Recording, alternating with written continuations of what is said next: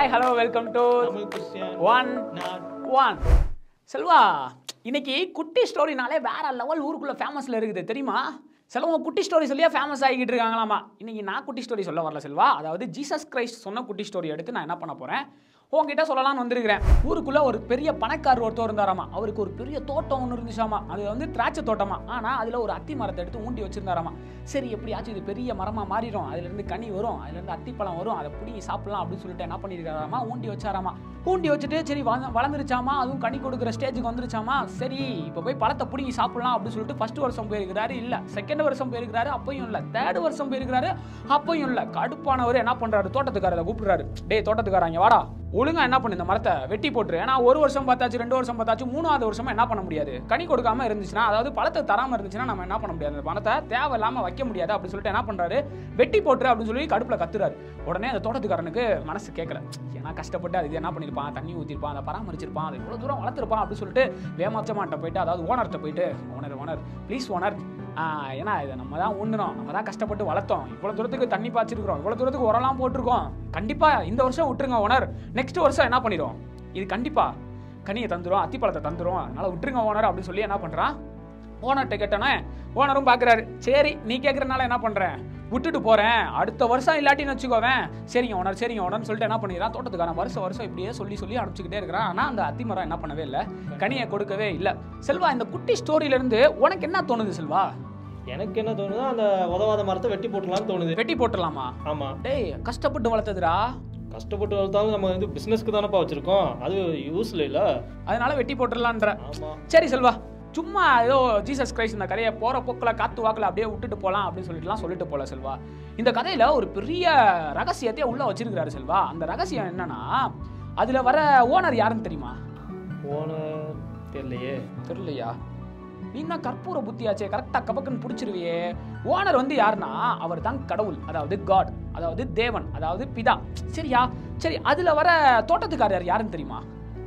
இதானா தோட்டத்துக்காக ஜீசஸ் தான் இருப்பாருன்னு நினைக்கிறேன். கரெக்ட் செல்வா அவர் யாரு? ஜீசஸ் கிரைஸ்ட் தான் அதாவது இயேசு கிறிஸ்து தான்.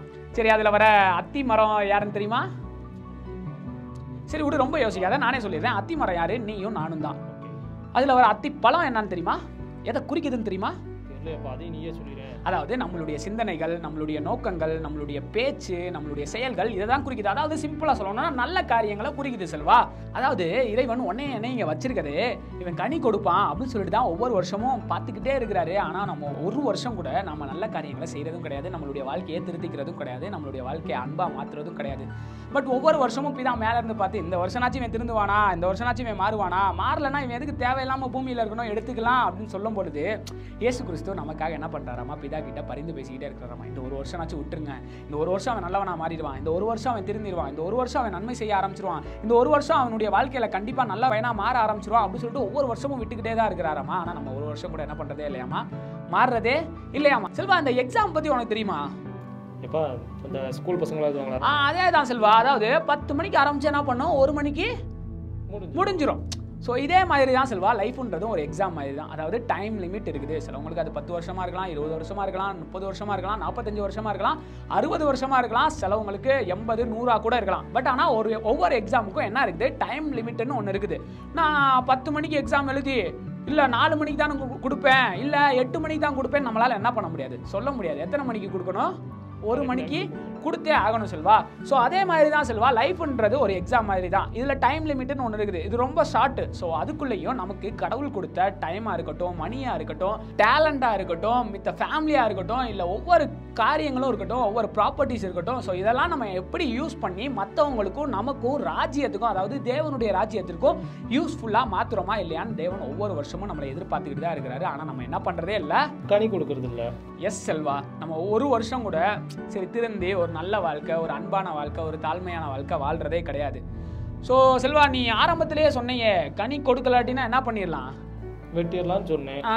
செல்வா நீ கனி கொடுக்குறியா செல்வா?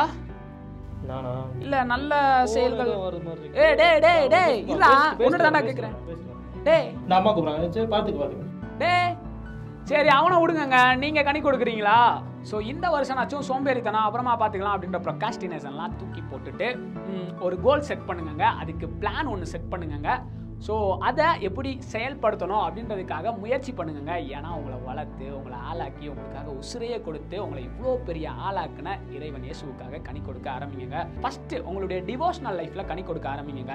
அதாவது கொஞ்ச நாச்சும் ப்ரேயர் பண்ணுங்க அதே நேரத்தில் பைபிள் ரீட் பண்ணுங்க அப்போனா மட்டும்தான் அவர் எவ்வளோ பெரிய தெய்வம் அவர் எதுக்காக உங்களை படைச்சாருன்ற நோக்கத்தை அறிஞ்சு கனி கொடுக்க முடியுங்க. ரெண்டாவதாக உங்களுடைய குடும்பத்தில் ஒவ்வொருத்தவங்க ஒருத்தவங்க அன்பாக இருங்கங்க. விட்டு கொடுத்து மன்னிச்சு போங்க அதன் மூலமாக நீங்கள் கனி கொடுக்க முடியும்.